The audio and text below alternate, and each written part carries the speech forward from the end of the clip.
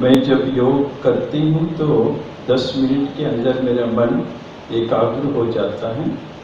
15 minute में योग करने के बाद एकाग्रता टूट जाती है। ध्यान गांडों के दर्द की तरफ़ चला जाता है। तो गांडों में दर्द होती है तो योग टूटता है। हाँ, हैं गांठे गांठे माने ये जो हाँ, हाँ, हाँ, है हाँ, जॉइंट्स जॉइंट्स पे की तरफ़ चला जाता है।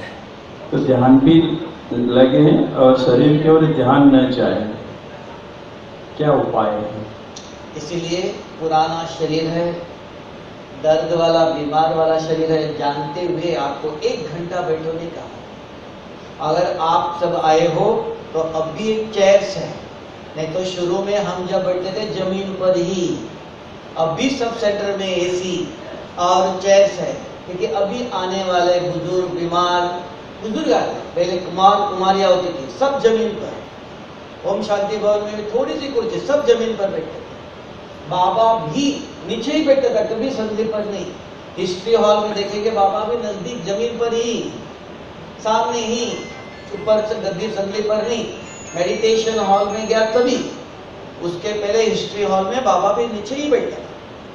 तो इसके लिए जानते हैं तब आपको कहा पंद्रह मिनट ही करो, पहले। एकदम एक घंटा नहीं, जो दर्द पाँव दर्द करता है, कमर दर्द करता है, पता है। नहीं तो एक एक घंटा, दो दो घंटा उठो, तीन बजे उठ के बैठो तो नहीं कहा। पंद्रह मिनट पंद्रह मिनट में पाँच मिनट, पाँच प्रश्न बताया आत्मा का चिंतन करो। पाँच मिनट, जैसे आपने कहा, पंद्रह मिनट हमारा एकाग्र इतना ही करो, उसके बाद नहीं। उसके बाद मुरली पढ़ो। उसके बाद उठ करके थोड़ा टहलो। हाँ ऐसे करो। फिर अगर समय है और पंद्रह मिनट के बाद फिर बैठो। क्योंकि शरीर की ताकत देखना पड़ेगा ना। किसी को देखो, कोई भाई दो रोटी खाता है, कोई कहते पाँच रोटी खाता है। हर एक की अपनी ताकत है। कोई एक घंटा बैठ सकता सभी को कहो एक घंटा बैठो। नहीं, कम शरीर का दर्द है। इतना हम अशरीरी बन नहीं पा रहे अभी ये जो पाँच प्रश्न बताया, ये चिंतन करते करते आधा घंटा तक पहुँचेंगे आप।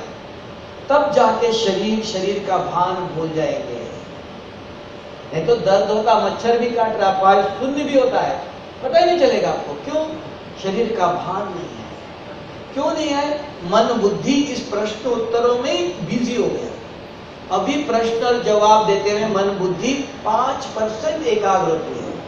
फिर धीरे धीरे दस परसेंट धीरे धीरे पंद्रह परसेंट धीरे धीरे पच्चीस परसेंट अस्सी परसेंट आपकी एकाग्र होंगी, तब शरीर का कोई दर्द हो काटा है, मच्छर काटा, कुछ भी नहीं पता चलेगा बाबा का एग्ज़ाम्पल देते ब्रह्मा बाबा झोपड़ी में, योग में बैठता था। कैसे स- आगे बाबा के पाँव से सांप चला गया? तो भी पता नहीं। ब्रह्मा बाबा झोपड़ी में, मधुबन में तपस्या करने बैठता था। तो वहाँ सांप भी पाव पाव के ऊपर से गया। उतना 80 परसेंट मन बुद्धि एकाग्र होना अभी पाँच मिनट है। दस परसेंट है। ये बढ़ाना है, एकदम नहीं होगा ये। जितनी आपके मन बुद्धि उसी में बिज़ी हो गया जैसे आप देख लो, बच्चा खेलता है, खून लगता है, खून भी निकल रहा है, उसको दर्द भी कुछ नहीं होता है। घर में आने के बाद दर्द शुरू होता है। वहाँ क्यों नहीं हो रहा है? वहाँ उसका ध्यान खेल में है। शरीर में नहीं है। घर आने के बाद खेल हो गया, ध्यान कहाँ गया, शरीर पर गया। यहाँ भी योग में बैठते समय मन बुद्धि प्रश्न उत्तर देने में बिज़ी हो गया। तो शरीर का पाव शून्य हो गया, दर्द हो गया, घुटने का दर्द कमर का दर्द, कुछ पता नहीं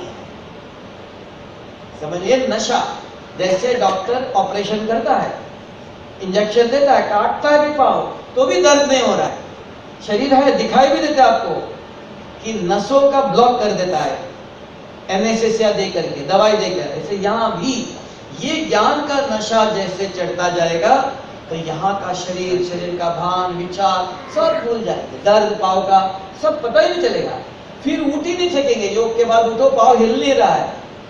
जड़ हो गया है।